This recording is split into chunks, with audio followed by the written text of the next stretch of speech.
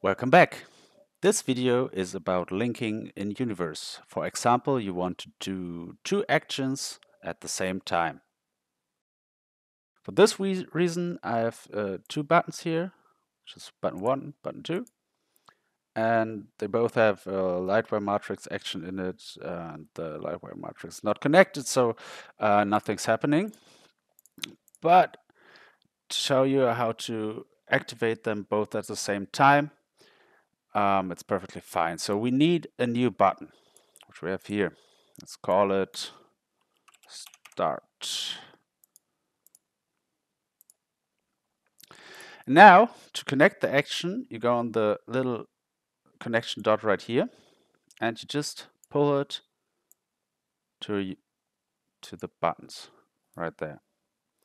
And now, if you press Shift in the edit mode, you see both buttons are activated at the same time.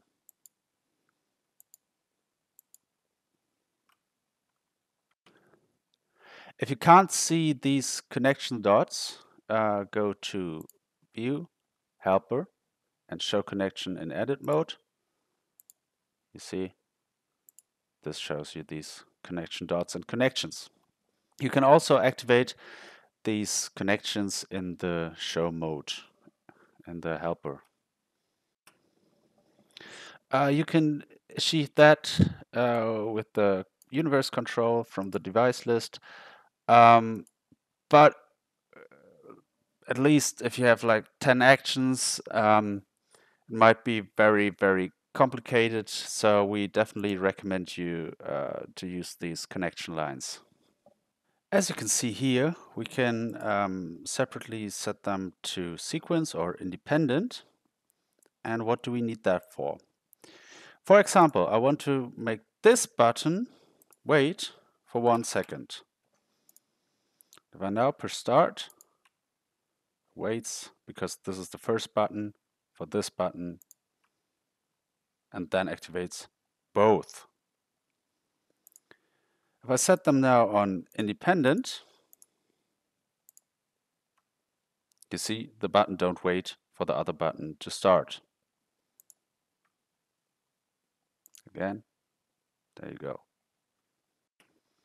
So what happens if we add some faders? Say this is fader 1. And fader 2. We connect this one. That one Mm, make it maximum and the second fader minimum. We reset the wait time and let's go. And here again, it waits for the first fader to make the action and then goes to the second fader.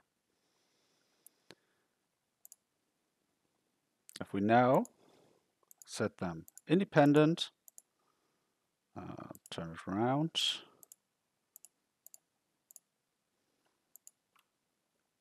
Then you can see it's happening both at the same time. As you can see here, um, I have different options how the faders should work. I can make them maximum, minimum, freeze, or whatever.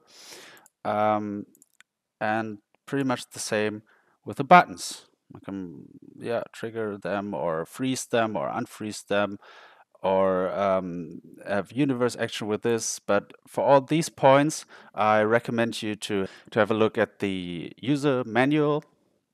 So thank you for watching. This was the video about linking. And I'm looking forward to see you in the next videos.